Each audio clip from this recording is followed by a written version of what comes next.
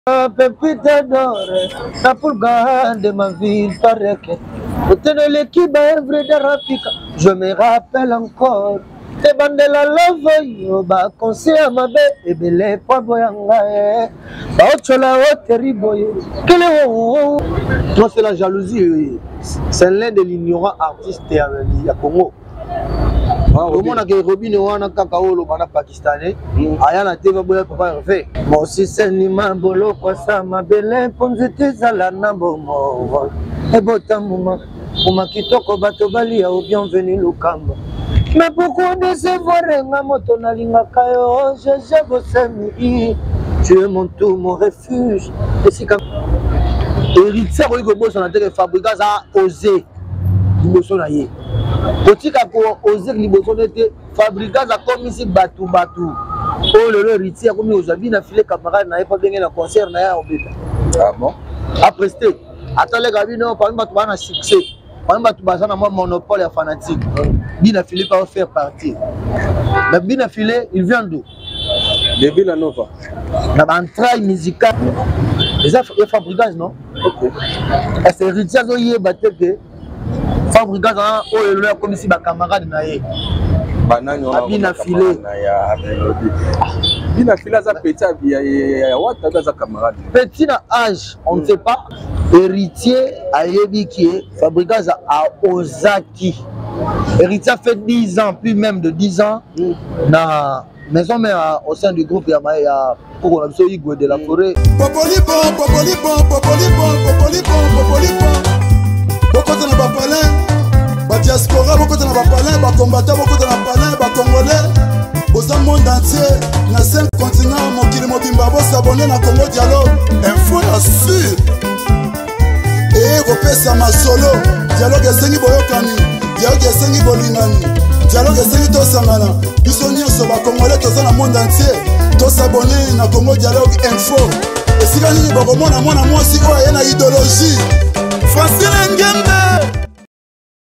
Très heureux de vous retrouver sur euh, Congo Dialogue.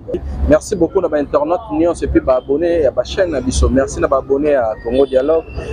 Euh, ba internautes nyonso oyo olia mosusu oza nanu abonné te na chaîne na biso Congo Dialogue. En tout cas korate te pesa biso mwa coup de pouce na yo kende kosabonne parce que tozomemela bino baactualité oyo ekosunga yo ekosunga mpe population. Merci beaucoup na euh, euh, technique na biso avec Toussaint Mutamba uh, culture na biso en général na musique ya Congo euh, lelo naza na invité na biso oyo tobengisi lelo ameka koconfirme biso par rapport ya baactualité ya Fabregas Maeso tomeka mpe kosolola par rapport ya batiraillement oyo eza entre Robino Mundibu na Fabregas Maeso et puis euh, batiraillement oyo eza entre euh, Fabregas na euh, héritier watanabe tozomeka koconfirme mwa mama mike mike bozala branche euh, bozape te po bozwa bainformation ya bien sans plus tarde azoyebisa euh, na réalisateur nanga afungola déjà po tokotisa invité na biso ya lelo en tout cas bokosepela na ye bonjour mélodie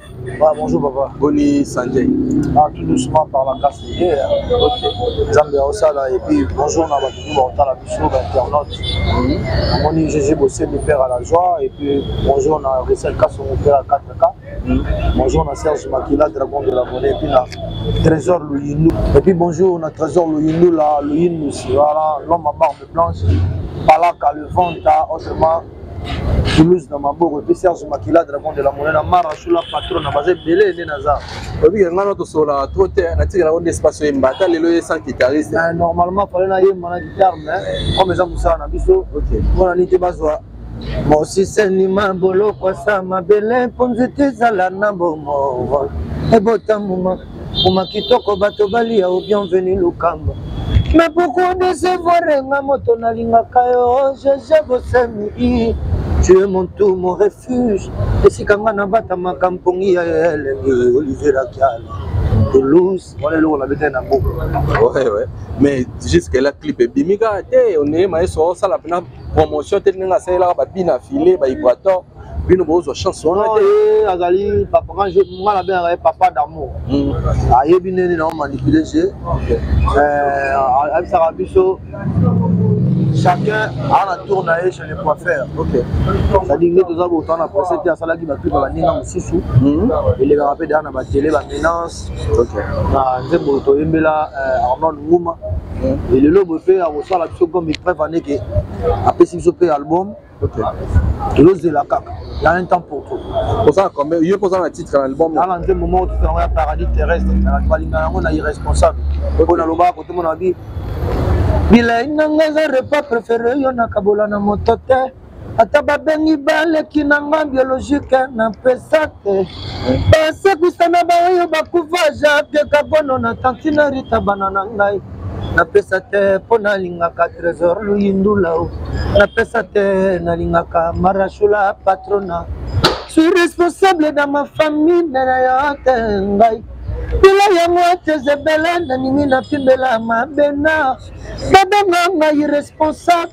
irresponsable irresponsable ya bolingo nazali oyo irresponsable na nimi na nimi yango tosa mvumbi mpo na yo nakoboma moto e inika tuzare nabenga yo morontu osi mo refuge esika nga nabatamaka mponge ya elengi ii melodi nakokota orchestre osali meme est ce odepasse ya deux ans na deux ans pena deux ans deux ans pena deux ans deux ans mais oyo okuta pe ba miaka na okasa mama moko apesi yo titre non ezaka ko mingi po ute pa ibrata to non maestro kutu makambo ba kowuta pa kingani epa ne ezaka te ezaka koswana na savoir faire oza na oyo ye azolinga mpe ba villageois bazolinga ekompris ba melomane na ba musique akotindika yo akotindika yo aomérite mpe naye mapata nzembo akoloba na carrière musicale yango te akote mosusu toutaki bapesa biso chance wana te alors okoma mpa na ye atunanga alobi melodi bato baolinga yo mais soki il faut oyembela motu nzembo oyemba nini yango naye kobimisa eloko hmm. eh, yango moi nabimisaki eloko oyo nabimisaki yango mpena avec tout amour epuis eza nzembo eza na énergie ya kibongaisme nde balobaka nasalaka pene fort teke nayebi ke baparole bazali apesi masta na nga div mbote mais en réalité nalingi mpenza ezala na baforce naturelle yanga moko mpo nayeba combien de fois ke nao pese mpe na musique ya congo yo moni ozomona champ na yo na bachamp mpe ya baninga ozoyokayoka na mouvement oasepenake eteni te nzembo na ngai eotenir ntango mokolo ya liboso na beta yango lelo boye bato so na tie mpena tinika tozore na ndenga yomo irresponsable bato bazongisaka eh, eza bien to eza nzembo oyo eza baénergie na nga moko soki erate nakoyeba ke ya combien de fois mpe na na énergie te ya kokokisa nzembo soki ebeti parce que naza na confiance nango avec tout amour hmm. na volonté ya nzambe oza parmi banzembo soki eza 5 ekobeta na mboka hmm. to 10 et je serai parmi le 10 premier ou le 5 premier tosonga na casino de paris apres ezanga kopimela bino bavisa zero visa na demande esaleli nonde eza mboka okay. to akize bakonzi te mm. mais eza mboka omoni lelo bapeya baninga eloko lokola déplacement ezalaka so mpasi te hmm. biso kaka nde na congo totikali nanu na esprit ya kokanisa poto bien hmm. visa eza lokola eloko moko grave so na ndeli visa wana ezalaka prix nango en réalité hmm. ezalaka ba septin quelque euro mais tonyokama na okobeta te eza mpo ozwaka visa biye kutu eleki yango biye ok mais biye ozwa yango na facile na visa ozonyokwama bayeba mpe omoni lelo boye meme ata na palin toyebaka mwana waka mayele mwana waka mayele te toyeba yango baparent bayebi biso toboti deja toyeba qualité thank you toyebi qualité ya selme toyebi qualité ya nier parce que baza bana toboti na mboka mpe mm, nakosenga parce que naa mpe patriote mm.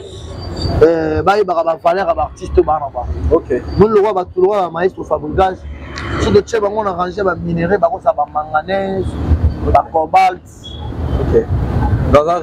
aza richesse ya mboka aza l'un de bagénéraux ya génération na ye gens au départ da tobengaka ye tobengaka ye euh, guide suprême ya génération na ye c'est-à-dire mboka fo comprendre que so maestro fabrigage le frère richard de poule de dicap so basengi bavisa eza normal epuis déjà au départ bamusicien tokoyemba penepene na bango toza bavisionnaire ya musique ya congo ya lobi eye nde bafrançais balobaka une génération savant notre le succès ava mpona kosuccéde esenga mpe fo kosala bapreuve bapreuve eza fo tobeta bazénith de paris baarena tobeta bacasino tobeta baolympia yango ntango lobi tokoya bato bakoba seve na ye eza na ya likolo hmm. so bapesa biso opportunité te ya kovoyage du jour au jour na congo tozalaka kaka na complexe ya france yango omona motu ake belgique akimi motu ah. ake france akimi ake allemagne akimi mpo visa prouve que soki lelo melodi badiama ke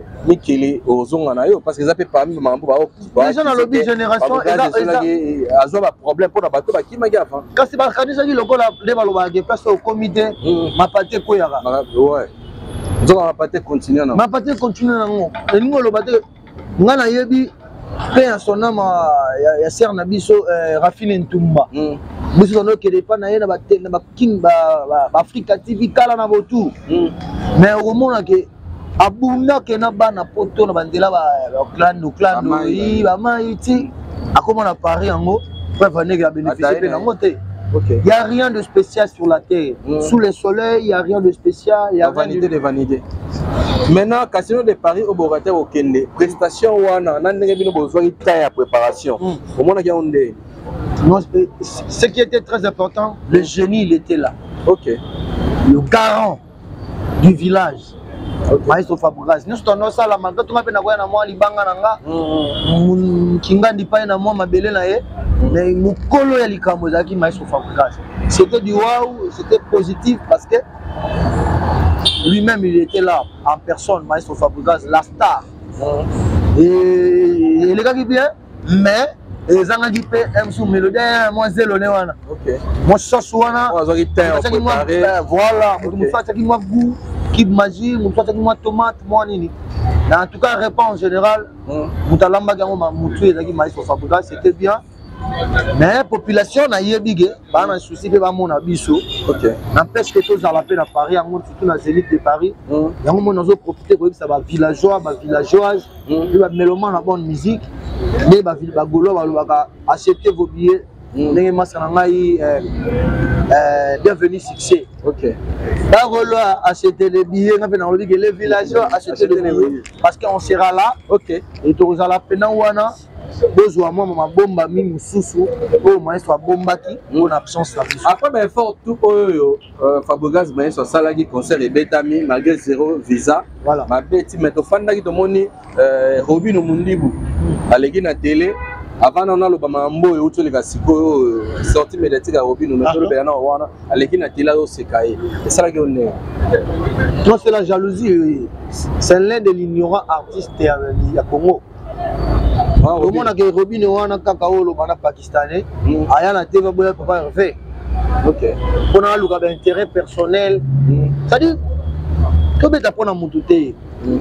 ngai naloba yango si pas maestro ou la place touti na bamiziki soki esengeli miziki ezala nga mpe nalingi azala pami bapetante bato oyo lokola bafe grand calais po eloko ezala na deux ebandaka na un eh. ezalaka kutu te kodwa bozala na zero oke zero mpe eza après zero ezala un ekomaka deux ekomaka trois hmm. cestadire soki ezalaki ke bafabrikas bawerasol bajb banani bazalaki te soki esengaki musike ezala hmm. soki nzambe apotenga chance ya kozala musicien nalingaki aza mpe parmi bamusicien balingaki bazala kaka donc elingi koloba ke yo kozala ignorant te hmm. ntango moninga azwi bon pas échec mais eloko na ye eke peut-être euh, préparation na to likambo balingi bosala eke na mwa banormali hmm.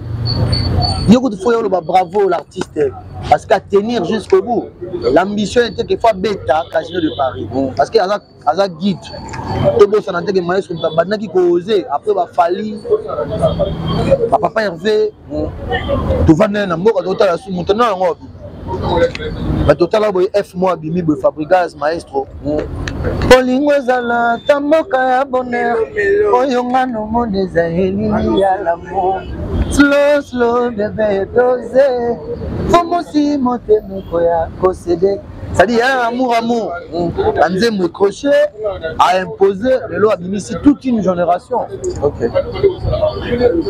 mais sikoyo likambo yango ya guide suprême hmm? guide de sa génération ezo créer problème qu'est ce qui fait que na mboka na biso to na monde na musique bazo reconnaître fabrigaz te comme guide oyo ye moko alobabaningani musicien ya ya génération na ye bien très bien qu'est-ce qui fait que ba ba reconnaître ye tant que guide parce que ce sont les ignorants OK ignorant ko mona loko lati polo wana eza pembe aloba eza jaune sikoyo ekomi ekomi sikoyo opinion na ye état d'esprit na ye pensée na ye oza na droit ya koboya te tika ye asala na ye bongo ndenge akanisa bongo mais en réalité congo ayebi ke après badicap ba fait recherche de poule c'est mai sofa kongola yebi yango en dehors ya badicap ya bavfr otalaka ekongola ayebi ke se fabrigas qui a créé artistiquement parlant bina filet Vibrator, hmm. Patrick Beka, okay. les trois jours, les. Mais Bizama. Il a filé par autant de voilà, l'objet que Patrick Beka, Makala, Mom, Yamai. Est-ce que ça ça ça biloko ça ça peut pas vrai ou le bamara Makala non c'est sont ça parmi basian artistes au bas la génération là et à obtenir OK parce que le lobo na mboka au Congo c'est pas facile au tchan concert ba ko betana sayo batu baya oyebi kosokola mai ndenge na ye bone mission wana sukoli na tie basket na nga na tie jean short eza tout un exercice eza départ motu moza kovanda na palin mpe joli moyo masukoli neti ezo gene ti parce que abona nde nabana kozwa cantine to nakota na douche na bongo siko moto otie riban na yo abeta na sa yo napesi motu na ngai odile manzaka ba bon séjour na paris eyebaka na elise bokota kotaskin baye soki bato baoya mpa na yo parce que tu es quelqu'un oyo bazo baa na baestime baa na baconfiance baa na considération envers toi est ce que c'est important parce que déjà génération oyo ye azolobaka aza guide bao budango est ce que c'est important fabrigas maeso arapelaka bango et puis euh, d'une manière natalaki epa papi moma alobi euh, ata acite kombo héritier toujours na malamuka ya guide de sa génération d'autre part kozala provocation te mpo eloko wana epelisi moto tomoni robino aye kodefendre tomoni baporte parole baye kodefendre balobi ba n'importe quoi quelque part eza provocation déjà ntango toloba hmm. eza ignorance héritier ayebi ke fabricas aozaki héritier a fait 10 ans puis même de 10 ans hmm. na maison mère au sein du groupe ya, ya koko na biso igwe de la hmm. forêt weranson ba respect belé na ye Fabrica a fait 3 ans et demi on était tous à Kinshasa na Congo toyebi ke mwana mwa otina matete bongo kaka yebo asali bavocal ezwi atya badiego musique bato bayoki apres na suka nango aye koose kosala album na ye eyoka yango na mboka oyo le jeune artiste oyo aladi kolobisa bato ke en dehors ya handicap ya fait richard de poule eza mpe na moto akouta dans le néant ayosala likambo te eza ya fabrigage non ese héritier azoyeba te ke fabrigage aa oyo elolo akomisi bacamarade na ye abina file bina file aza petit ya wata abe aza camarade petit na age on ne hmm. sait pas parce que toyeba age na bango ya 100 pourcent te konga na koloba na mwana 90 mais tayeta na mwana 1985 ok eza age artistique eloko Cristiano Ronaldo non, jusque là yo kota na doute na age obi na fila pesa biso na TV ko ebimisa kasa la petit awat non nakoti doute na lobi oui nakoki en quelque sorte mm. parce que c'est là on est la samedi qui oh alobaki eza âge n'est vrai OK vous comprenez mm. parce que ngai azalaki na miziki deja po bafabricas bakoma lelo baza oyo bakomi balider na biso bapatron na biso ngai nazalaki apo baibrateur bazala ngai kuna bana opeta na baorchestre bato babimisa bato nde babima na musique liboso ya ba ibrator bololo na ya tv nango ba ibrator avie na nga non nakoki mpe koya koloba mpe ibrator aza vie na nga na age nakoloba mpe aza vie na nga na artistiquement parce que maestro fabrigas apopulisaki liboso avant nga nayebana na nsima na ye ezo comprendre mais ezo confirme biso ba age na biso vrai te elingi koloba ke artistiquement héritier akoki kobosana te ke fabrigas a ose liboso na ye kotika koose liboso na ye te fabrigas akomisi bato bato oyo oh, lelo héritier akomi kozwa bi na file camarade na ye mpo abenge na concert na ye akobeta ah apreste ataleka bino parmi bato baa na succès parmi bato baza na mwa monopole ya fanatique bina file pa faire partie mais bina file il vient d'où de villa nova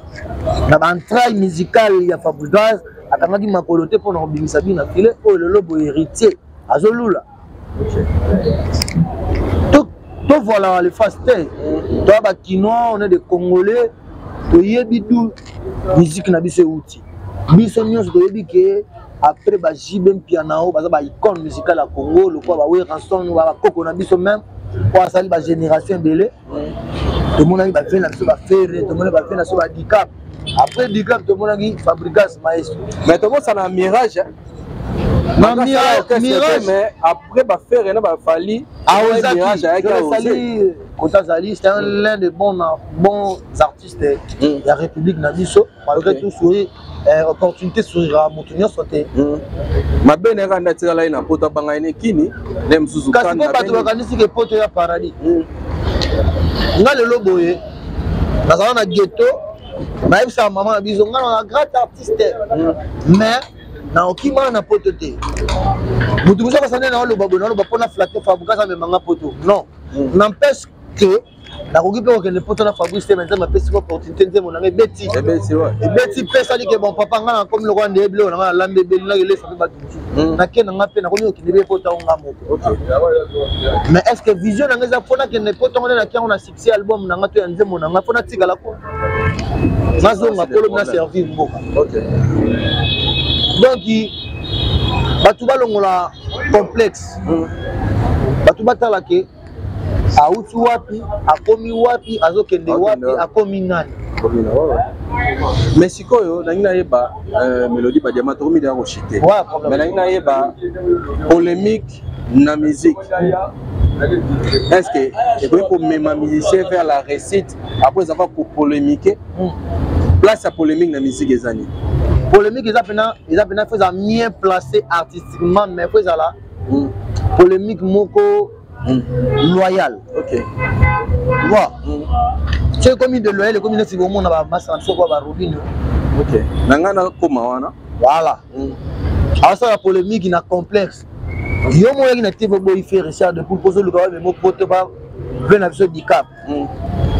yo moko soki na télévision okomi kolingo changer langage po flatte faire de faire richard de poule toi tu penses que faire akendeki kofukami nde okoma aloba bavie wana ozokanisa ke akokende mpasi mwa afukameli yo alalelo batombe asali boye po ozwa résultat non loi ya karma epuis apart tobosana te irasie eza na makambo te tout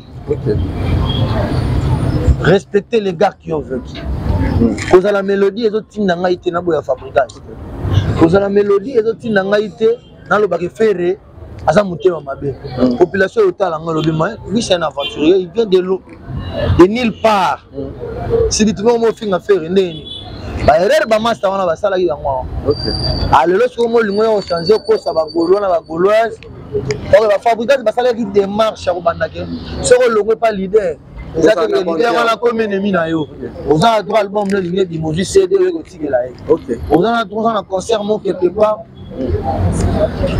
en tout cas na profite mpe kopesa pakebo ngolo moseka eyobi kaka biso kaka bana apesi ye mbote okay. eza koyebisa biso te ke fabrika asali démarche ya koloba ke mm. soki na babeta concert natali ke calendrier ya papa na ngai abimisa ngai artistiquement mm. aza nde na palais aa ah, calendrier mosusu te mm. je peux l'appeler na concert na ngai ye mm. ba motu bato baosala lelo eza démarche oyo fabrigaz lelo bato bamonaki mabe lobi lelo osala tozalaki na bandako toyoka fabrika ezalaki ebeta na la samba play na kermes awerason oyo ayebaye makolo bakosilisa ye werra solo azalaka motema mabe aza hypocrite mais lelo bato yango bosala yango tomomona ti ekomi osala penake wi bapesi yo ampuli ezopela eza chargeable chargeabelodegati wa fabrigas e nani wata kasi toyoka bango kwani lelomel de son mpe alobaka aza na charge kasi baredro na mel de son par rapport ani mel a comprendre ke parce que mel pardon continue na mel de son déjà au départ na ndenge ya artistiquement ndenge abimi na ye totika eloko mpasi moko te afingi wera so sikoyo akomomona sikoyo bato bafingaki wera bato bafingaki wera nzela tokontine nga nabengi yo ba en tout cas na profite mpe napesa check business rai oyo nalati oyo aza moto alatisanga bamanete un bon villageois check business atambolaka na makambo nde na maboko en tout cas moto ayi na likambo ya polemique polemique eza pena hmm. oblige fo ezala sikoyo yo obeteli sete alobi polemique fo ezala loyale ah. oyo okomi osalama ya bainjure mpo namonaki eh, robino mondibu aye afingi abi guide supreme hmm. ya génération na ye akozala mabe lokwa fabrigase te Ah, mais c'est la eya complexe te mm. omoni na vie na nde toloba boye kitoko ya artiste ezali baevre na ye soki omi koyebisa biso ke vekester wana ekoya complet tina verchat du triple semaine ya weston mm. mais soki oyoki vraiment ndezia kamala apesa bato baevre elodi badiama pardon continue eloko wana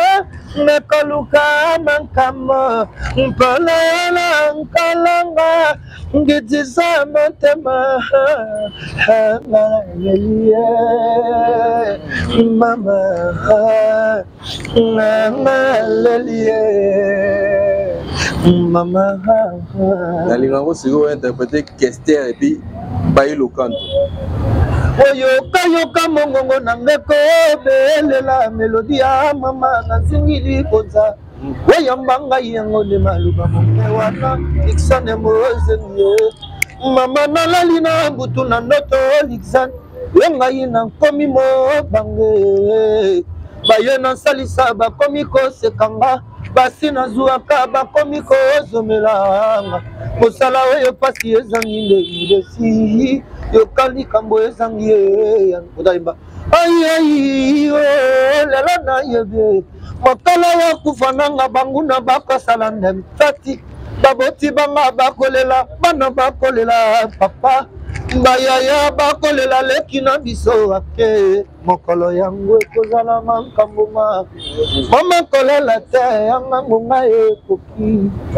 ozo comprendre lelo euh, mamba ba beauté ça dit kitoko mm. mm. ya artiste mm. eza physique te mm.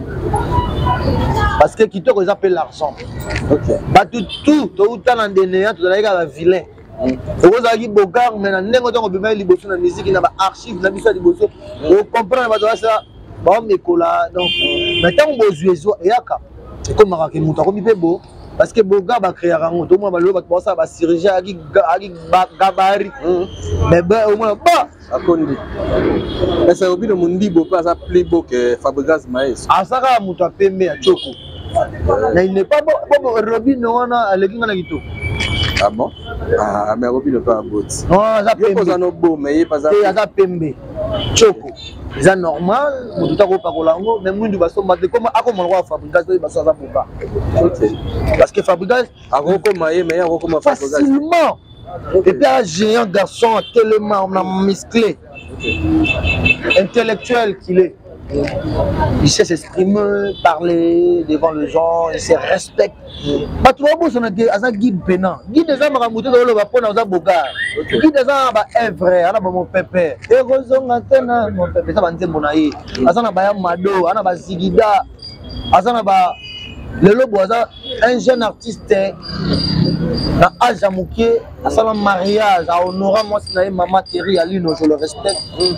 mama na jesi na brian mère ya mapasa mère double c'est pas facile osa succès balbum ezobeta mais ozaka na mwasi moko ti lelo abota mopanzi te toyebi kaka wana eza makambo na biso mibali ya rien du nouveau sous le soleil eza makambo erésistaka déjà mm. papa moko boye tovandaki papa na biso toyebi te abota mm. après abimisi mwana mais oyo biso toyebi toyebi jesi toyebi brian toyebi bana mapasa toyebi mwasi nde moko mama teri eza exemple à suivre il y a beaucoup des artistes aujourd'hui baza instable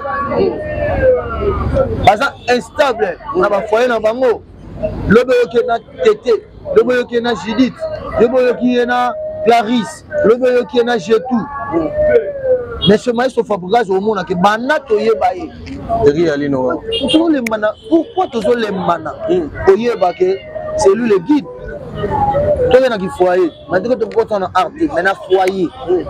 aza papa ya 4 bana père de 4 enfants hmm. ayiba mopanzi te mobali ya mwasi moko ye teri alino mama na biso ya pres artiste lelo boye toya mokie toyeba bebi basi ya lika toyebi mwasi ya mpe na biso fere toyebi mama sylvie mapata mama oyo aza exemplaire c'est-à-dire mama moko boye aza exemple à suivre hmm. soki bafabrigas maestro bateka babateri ya lino bongo parce que bazwaki exemple wana pama lelo eza grâce toza na artiste lokola ba fabricage aza mangana eza colbat aza argent aza diamant bato nde baza kaka na ignorance wana toloba tout à l'heure ignorance eko ntina moto ayebi kelo eza noir azoyebisa bato eza bleu ok merci beaucoup mélodie nayebi te euh, avant tokende na rubrique na biso émission euh, pesa biso nanu programme ya mouvement programme ya orchestre na biso mingi bato bayaka kolobela yango baroi de play baya mpaka ba jonathan jonathan ba forme ba gina pmf mm. yango ngai nayebi nde nalobi ke les, les mélomains de, de la bonne musique euh, si que ba villageois na ba villageoise bo somme ba billet na bino po cette fois-ci pena orchestre koya pour le 9 mai pour le 9 mai est-ce que bozwa visa oyebi question bozwi sur visa te baoseka bino non bapesa biso visa mpo bacomprendre ke motu azokende kobundela mboka aza valable aza na baevret toza biso bamélodie vo bamusicien ebele 2 3 4 ya baorchestre ebele neti nini mpo latime wata mpe orchestre efanda eza na bamélodie te na badiego te eza mpe na babiyembe eza na bato ebele ebele baza akoyaka oganga ba ba rigen baza donc baza ebele omona ko luka ba komo na bango non nga na yebisi yo komo na nga na kuzu po ok ok melodie ba diamba donc ngai nga na oloba ke peuple congolais ainsi que na gouvernement congolais batya ei mingi na maestro fabrigaz okay.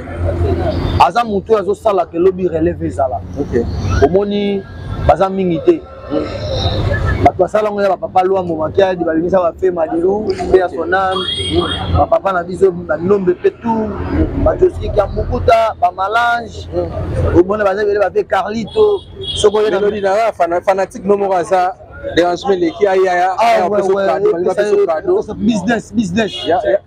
check business check business ah omoni asali zuwa melodi azwi azwi cadeau baluka boye ko check business omoni omoni sikoyo mm. bien oza villageois mm.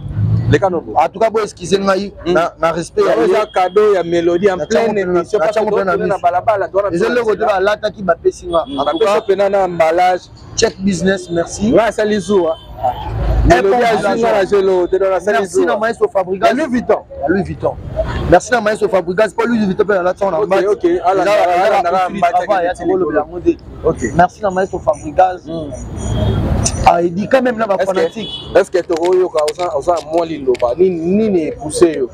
Ah, eloko epousse nga parce que na villageois de même non aussi na bina villageois villageois mpenza villageois me ngai alanda na kati ote nalanda manike alobi fabrigas na wata na bakomi na bafanatike te donc bato bazalaka na bafanatike eza kaka fali na feri te eh, awana akosi apo bawayo bakulo bavillageois oya bina so ata na nzela so tuni mwa moke oyebi baspiritas aloba nayebi bango te ma bavillageois ayebi bango oyebi orchestre via nopa Villa Nova. Eza maestro Fabregas. Villa Nova. Ah, yebi soki na yebi orchestre Villa Nova. Alati yango. Siko nini nini oyo epusa yo okoma okoma okoma nani villageois.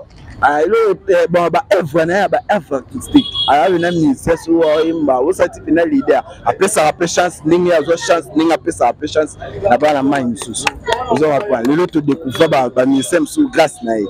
Ala le seul dans le seul musicien oyo persa mpenza na carrière solo epuis na génération na ye question moko naotuna oyo eza na polémique te naotuna kaka question mpo toyeba entre héritier watanabe na fabregas mayeso mpo na yo nani oyo asali ebele mpo na miziki na biso epuis nani oyo aza likolo ah, totya nanu totya mpena na carrière solo na ndenge mpena babimeli bango mibale toyebi ke na carrière solo fabregas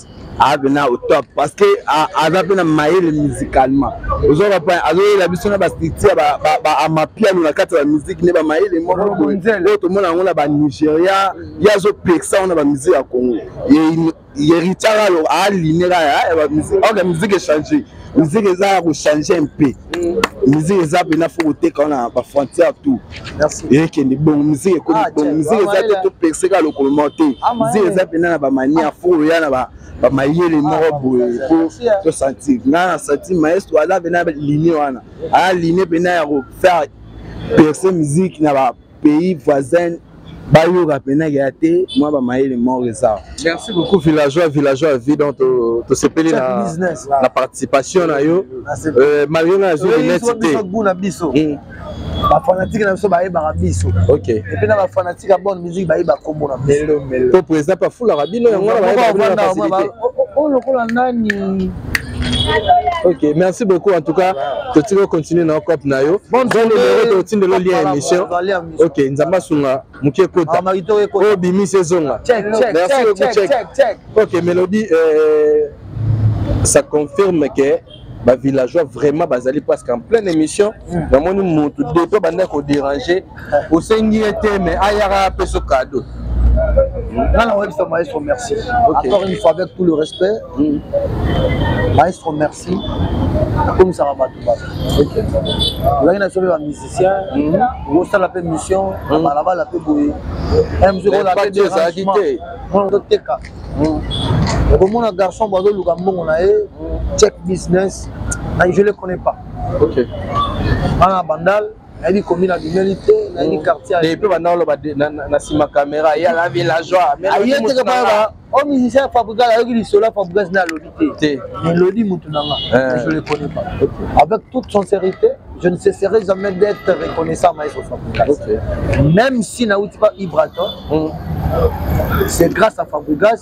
mm. nde toyebi ibato donc toza na biso bato tokosala deba te moi je le rends toujours la reconnaissance okay. ya koyebisa ye merci ok mélodie toza na rubrique na biso moko tokoti na émission eza ya, ya différence na otangeloko ade artiste musicien ya mboka oyo kosala badifference na bango yo moko mpe soki omoni ke obakisa eloko mosusu likolo ya badifference na bango ezodepanda na yo eh, différence nini osala entre ferre na fali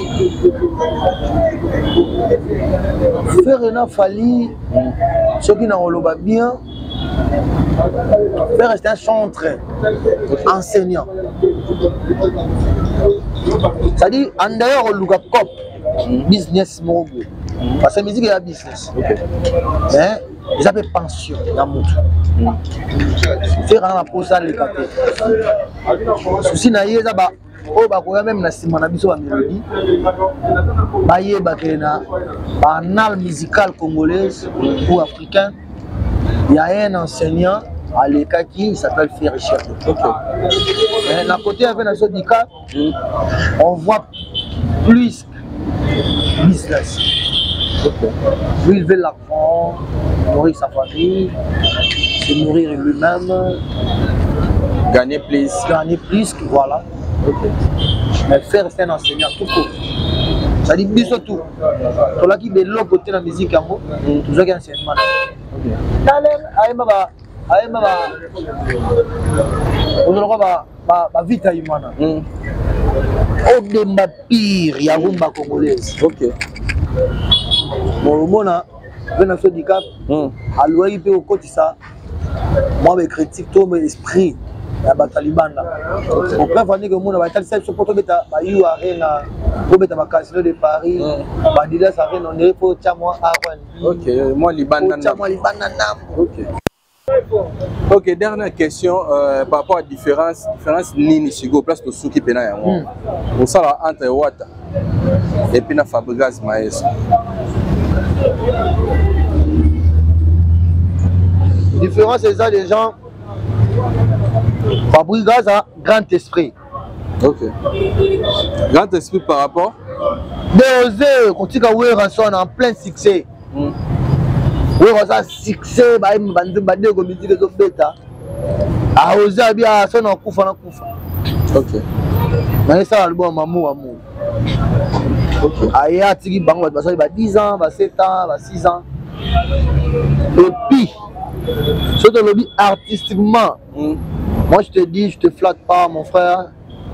Babuka azala maestro. Maestro musicalement. Mais sikoyo babenga Watanabe mais c'est le chanteur oyebi. Na voix. Ouais, c'est la connaissance. Ah, donc musique olobela ya connaissance mais ya voix te. Oui. Voix yembaka te. Soki omoni chanteur ayo soki ayembaka na voix, c'est un faux chanteur. Okay. Permettez-moi de parler comme ça. Ah. Voix ekozala cassée.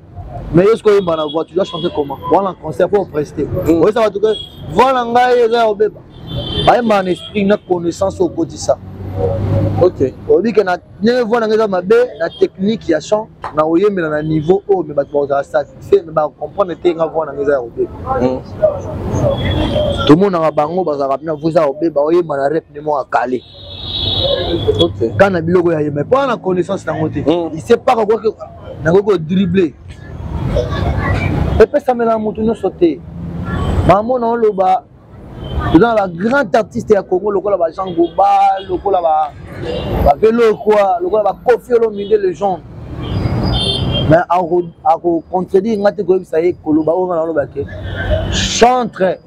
n'est pas la voix c'est la tête okay. c'est la, la, la connaissance que tu as c'est-à-dire oza na eloko moko ozoyeba ke quelque soit mpo na ngai eza mabe nakosepelisa bato epuis ozomona miziki nde toyemba toza na masei mpo tosala transaction ya boye mpo tokóma na octave kingani mpo tosala boye je suis pas un enseignant musical so babiloko wana miziki oleka mpe na ina ntango ozo explike biso babiloko oyo ngai nalaki te nalekaka na batele musical toyemba mpe na bacoral akoka manasi azo do re la majeur baesi zo eza miziki kingani oyo balapa moto oyo azalaka na souci ya koyeba po apprendre hmm.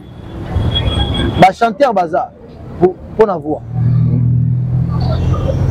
badifference wana soki kaka bongo boyebisanga lokola mpe lokola adolphe domingendi aza faux chanteur ayembaka bien très bien même ya solo je te dis maza na voix bien te aza na voix charmante te ok aza na voix mel mélodique te mm. mélancolique te ok mais okoyoka ye aza na mayele ya musique ayebi eso nayembi voyage texte oyo mm. parce que koyeba texte na mélodie mpe c'est deux choses différentes moto osaka amoureux ya bamélodie mais aza amoureux ya texte te mais moto mosusu aza na texte aza na mélodie so mélodie ndeni tokosala mpo toyebake oyo aza bon chanteur oyo aza grand chanteur par rapport ya esaleli ya parceke nakotangelo bachanteur yo oyebisa nga so baza babon obe bagrand ezoboyama te je suis là Euh, na bayi nanu kofi olomide aza bon ou aza grand grand kofi olomide grand opesi grandpona voix te pona voix ok pona nini grand artistiquement ok plein d'or Action musicale. Ok. Ayebi kobeta guitare. Mm. Aza na connaissance ya mélodie. Mm. Aza na connaissance ya texte. Ok. Nakomi na mesure ya koloba mama ba kofi te. Mm. Nakomi eza musique. Oyoka ye pe. Nayoka pe ye. Ok.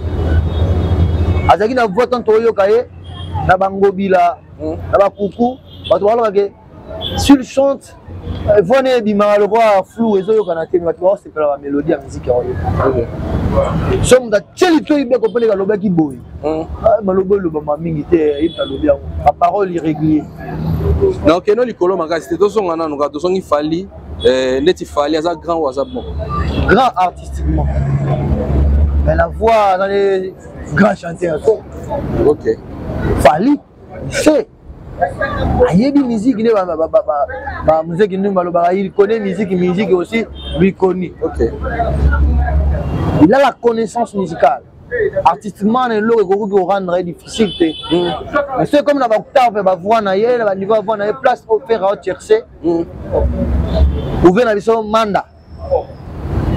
ya azala mwa sukili te ok mais na comprehension artistique na ye akosalela yango na kifalitisme bato basacrifie c'est un grand alors manda chante grand bon toye kote fere aza bon wana grand grand chanteur mm. grand artiste sans flatterie okay. il a la voix à chaque fois qu'il chante soki azoyemba inspiraka nga nalingaka nayeba ndenge nini nga mpe voi na ngai cedi voi eza enregistre mm. automatiquement aforcaka te eza flatterie te même kobanda na bavie ya likolo kita na se pour le moment voix oyo toza na yango ya kodefendre mm. ya kotindika ya kolobela malamu na congo nayebi te so baoyina ngai naza artiste epuis nazoloba lokola grand artiste grand chanteur cestadire ayembaka ana banote akouta na note oyo auti na do ake na fa naza na justesse so ozwi nzembo ayembe na do oyezwi nzembo ayembi na fa soki obeti kita okompanaka ye mbango normal aza pena na banote normal voix puissant mélancolique mélodique Alors, aza monene héritier watana mais c'est le chanteur aza bon ou aza grand c'est un bon C'est bon. bon. Fabrigas Maes. Grand artiste. Okay. Pétri de talent, plein d'options. C'est un batteur. Betara drum, betara guitare. Mm. Aza maestro na kati ya studio. azobakisela ingénieur un plus na eloko peut-être ye asukaki navanda boye namona moto apanza nzembo naye na nzembo na ngai nayebisi ye nalobi esina melodi toi tu pense que tu dois chanter seulement nzembo oyo kaka ale na prese nalinga nayemba yango mpoza na force énergie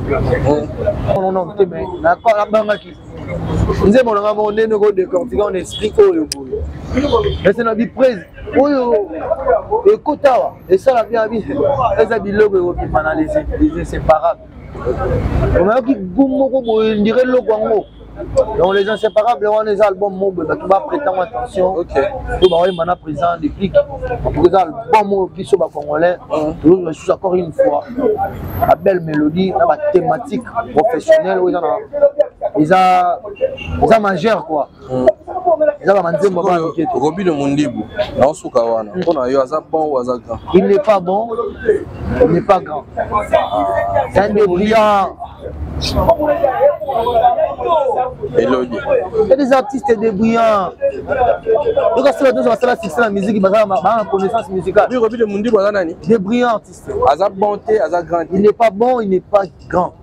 akomi na mesure ozala grand te grand kutu kotya ye te ah, bon kutu grand kutu kopense te babon kutu ekomi kaka mosu tolobaka mapeka epaulette comme ebetaki totie mwa lui ne parla par rapport à musique na euh, place oyo ye moko amitiaka conseil nini okopesa robin alongola kaka complexe na akomi te ok na akomi te tofandaki awa tomona nalobaka na ngai yango babi wan succès eske connaissance oyo mpe na biso elombe sukara wana yango bafrère wana bawana na ignore bango te baza mpe baartiste bango moko soyebisi mpe bango bo babanga so tuni bango question oyo eh. obanga epo na babanga baza ouvert te bakotelemelo oh, ke kotuna su question boye tepo eh, elombe sukara asenabi te moni nakoloba na ye ala petri ezali génie ya comédie musique ya comédie mm. ya art dramatique congolaise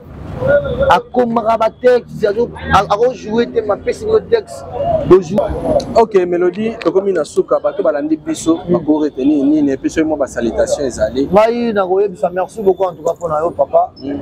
nakopense na ngai nazwaka mpe libanga te herve dicam so nazongo ata na mobiki esala ngai herve dicam Eh bon tonton ya kala kala yo mutu nanga kala yo mutu nanga kala ah, bainstime ebele epa na yo en tout cas merci na baetu balandi biso bapropos teni mpe yanga jara moto alobi yango epuis déjà ngai yanga penepene ya fabrigage ngai nabangaka bangaka mpe ezaka te eh, oyo ngai nalobi nanga na mwa connaissance ya mabon nalobi bo retenir ke biso bapesi biso album bato nyonso oyo baza na mposa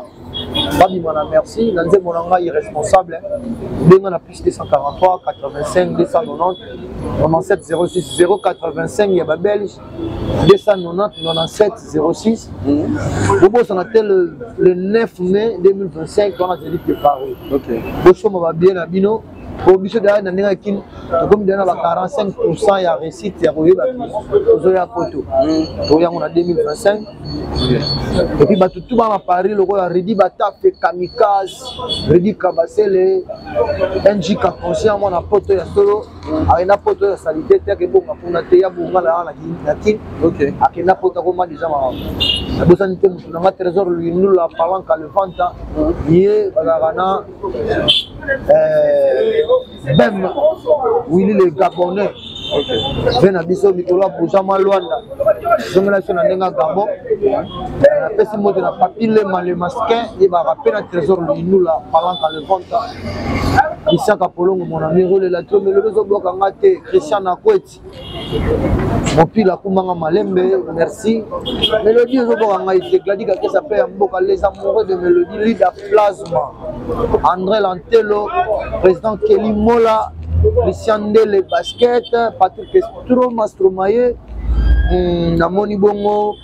Ersa Mpanda, petit na artiste, force à toi. Euh, Mara Chola, patronne, hein, mère à ma petite, toi-même tu sais. Thank you, lumière, en seul mamba, ngai. Après, si moto na kobar na bango, depuis Luanda, depuis maman na ma Bernadette Mbeta, depuis Barana fait na ma qui s'est na guise. Je vais bien à bango, bon, on va aller là. Moi, moi qui yanke na biso la kinoa. Père na ma qui s'est na guise, mère na ma bernadette meka ma maman chérie euh, napesi bana bandar tu mbote baadopta nga nga nanga mwana libulu kota ngomba oyobabenanga na bandar na vitesse ya gp bandal yango na makambo merci na fabricas maestro grâce na ye mokili oyebi oyo nazali napesi bana livulu malolo mbanzalemba kindele kisenso moamba mobimba bana matete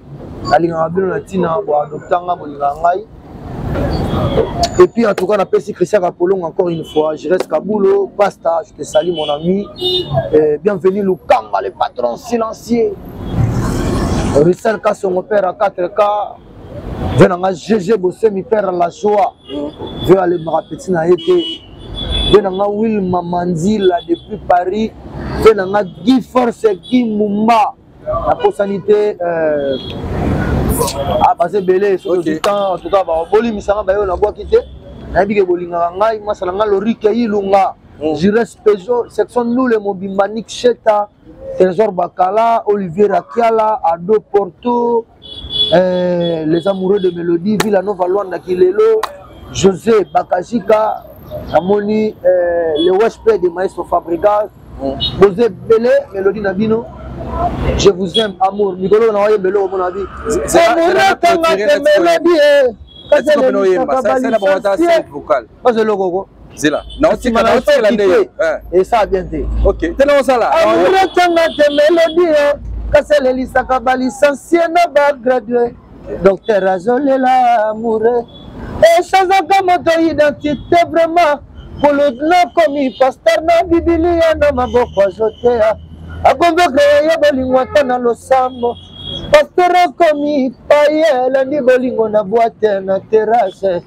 a convaincre ya eboli oligue shetan ngai trésor bakala amour atour en tout cas aussi c'est la mission na biloko ya fabrigas maestro merci beaucoup euh, c'était la mélodie euh, musicien na kati ya villa nova de fabrigas Euh, boyoki apesi information falaka apesa alobi akoki koloba euh, après ça va kolanda émission so osepeli nango kobosana kosabone na chaîne na biso te kobosana mpe kopartage te pokaba opanza sango mpa bato oyo baza mpenza kidiba bango mpe batala mambo oyo melodi alobaki bayoka na bakunga oyo ya melodi merci na équipe technique derrière la caméra exaucé motambai merci na bainternaute nyonso bobosana kosabone te natikeli melodi espace apanza nteke ma pepita dore na pulga de ma ville pareke oteneleki baevre de rafika je me rappelle encore ebandela love yo bakonse ya mabe ebele mpo boya ngai baocola o teri boye kele te olinga muzika na